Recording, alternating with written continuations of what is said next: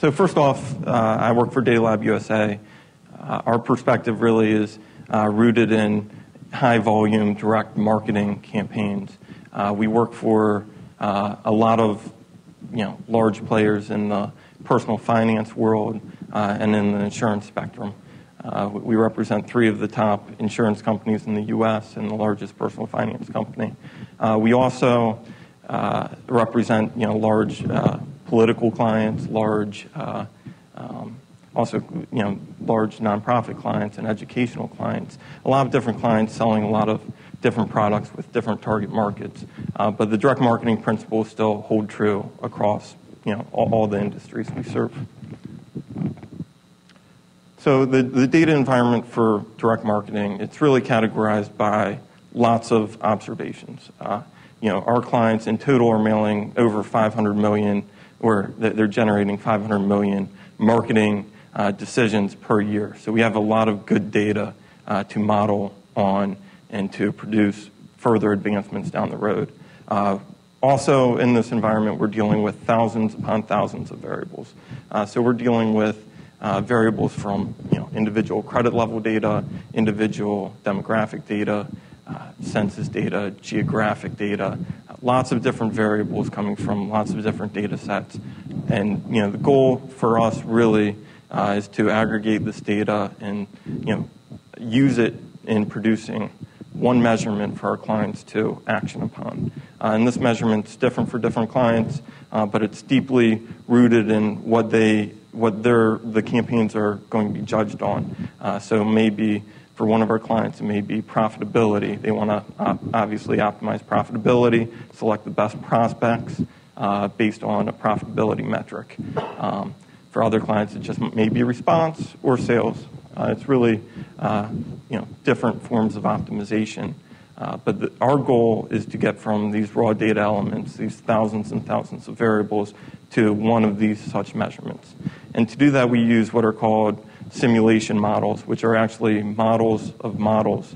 Uh, so, you know, on the ground floor, we're, we're building a lot of submodels that aggregate these different data sets, maybe exploit the idea of data homogeneity and, uh, you know, really uh, concentrates on segmenting uh, certain data sets really well. And they m- might be, you know, targeting different driving factors of our end goal. So we may have a response model uh, that's combined with a conversion model. We may have, uh, you know, for in the case of profitability, we may have loss ratio models and attrition models that also come into play.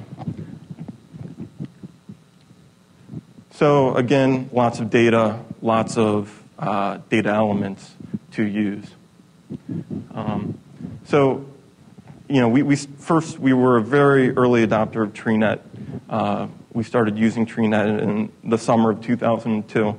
Um, the, you know, it, it, was clear to us that TreeNet was really made for the direct mail environment, or you know, this environment where we have uh, so many data points to action upon.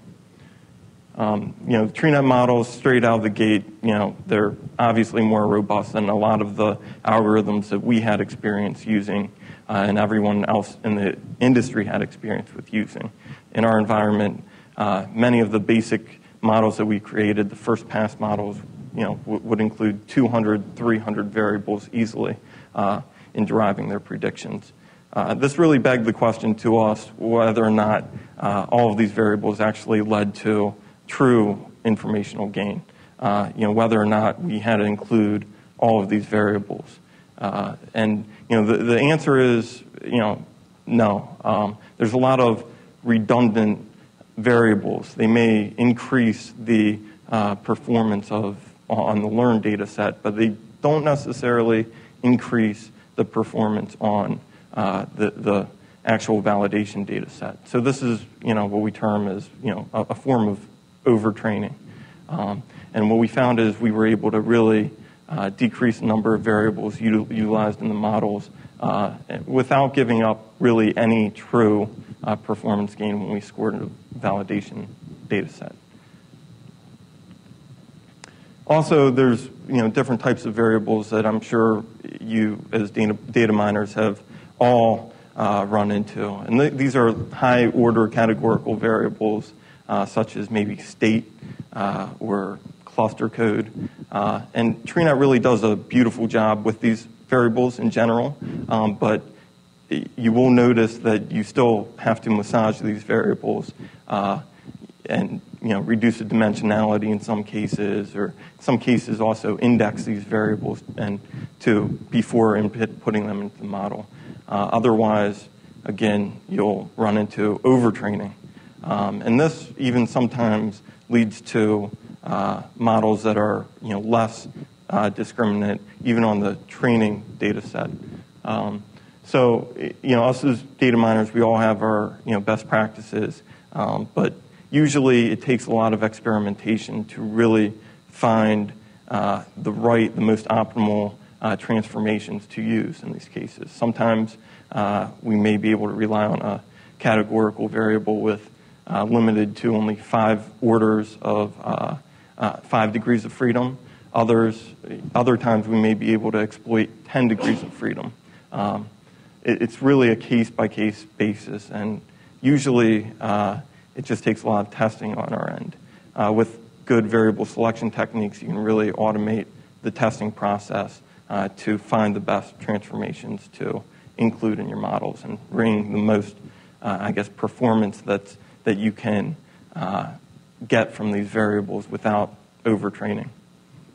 Uh, another set of variables I have up here are you know, composite variables. These are variables maybe such as cluster code or you know, FICO score, uh, family composition. These are variables that are really uh, composites of a lot of underlying driver variables.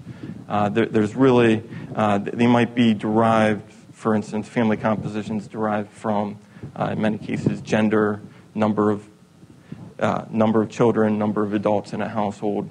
And really, you know, with TreeNet, it, it's very good at finding interactions. It's really unnecessary uh, to include such a derived variable in the model. And what you'll see is uh, lots of time, you know, doing so doesn't add any further improvement to the discriminatory power of the model, and it reduces uh, the ability to really identify what the key interactions are, um, and you know it really reduces the interpretability of the models.